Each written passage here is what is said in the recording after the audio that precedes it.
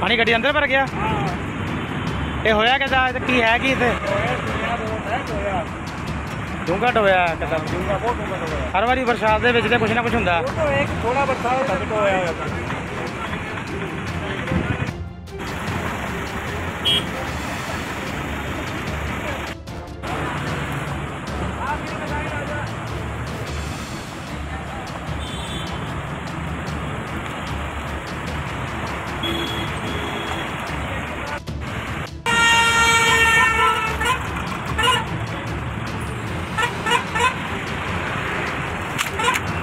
ਸੜਕਾਂ ਦਾ ਇੰਨਾ ਬੁਰਾ ਹਾਲ ਆ ਭਾਜੀ। ਕੀ ਕਹਿਣਾ ਸਰਕਾਰ? ਪਿਆ ਜੀ? ਮੀਂਹ ਤਾਂ ਤੁਹਾਡੇ ਸਾਹਮਣੇ 10 ਮਿੰਟ 15 ਮਿੰਟ ਪਿਆ ਪਾਣੀ ਪਾਣੀ ਹੋਇਆ ਪਿਆ।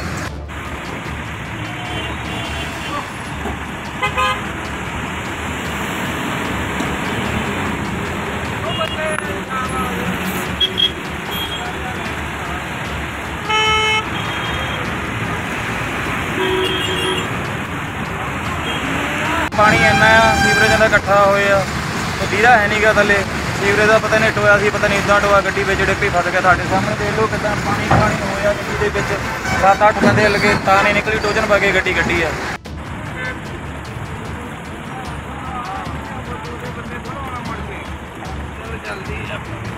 ਬਲਜੀਤ ਹੈ ਪੂਰੀ ਸਿੰਘ। ਇਹ ਗੱਡੀ ਕਿਦਾਂ ਫਸੀ ਆ? ਗੱਡੀ ਭਾਜੀ ਸਰਕਾਰ ਦੀਆਂ ਮਾੜੀਆਂ ਤੁਹਾਨੂੰ ਕੀ ਦੱਸੀਏ। ਅੱਡੇ ਅੱਡੇ ਅੱਡੇ ਪਿਓ ਆ ਪਾਣੀ ਇੰਨਾ ਆ ਸੀਵਰੇਜ ਦਾ ਇਕੱਠਾ ਹੋਇਆ। ਤੇ ਵੀਰਾ ਹੈ ਨਹੀਂਗਾ ਥੱਲੇ।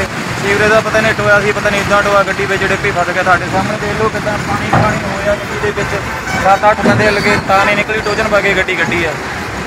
ਤੇ ਸੜਕਾਂ ਦਾ ਇੰਨਾ ਬੁਰਾ ਹਾਲ ਆ ਭਾਜੀ। ਕੀ ਕਹਿਣਾ ਸਰਕਾਰ? ਕੁ ਪਿਆ ਜੀ? ਮੀਂਹ ਤਾਂ ਤੁਹਾਡੇ ਸਾਹਮਣੇ 10 ਮਿੰਟ 15 ਮਿੰਟ ਪਿਆ ਪਾਣੀ ਪਾਣੀ ਹੋਇਆ ਪਿਆ। ਜਾਂ ਗੱਡੀ ਜਗ੍ਹਾ ਕੋਈ ਟੂ ਵੀਲਰ ਹੁੰਦਾ ਬਾਈਕ ਵਗੈਰਾ? ਉਲਟ ਜਾਣਾ ਸੀ ਭਾਜੀ। ਕੁਛ ਵੀ ਹੋ ਸਕਦਾ ਐਕਸੀਡੈਂਟ ਹੁੰਦਾ ਕੋਈ ਥੱਲੇ ਆ ਜਾਂਦਾ। ਹਾਦਸਾ ਹੋ ਸਕਦਾ ਸੀ ਬਹੁਤ ਵੱਡਾ ਸਰਕਾਰ ਨੂੰ ਕੀ ਕਹਿਣਾ ਚਾਹੋਗੇ?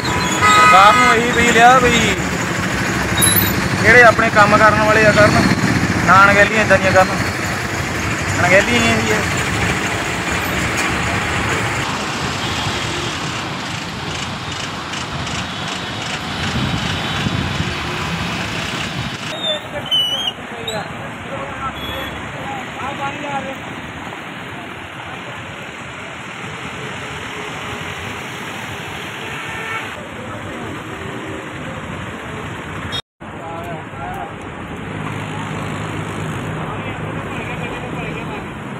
ਪਾਣੀ ਗੱਡੀ ਅੰਦਰ ਭਰ ਗਿਆ?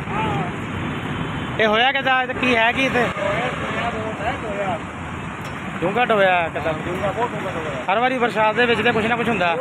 ਥੋੜਾ ਬਰਸਾਤ ਤੋਂ ਹੋਇਆ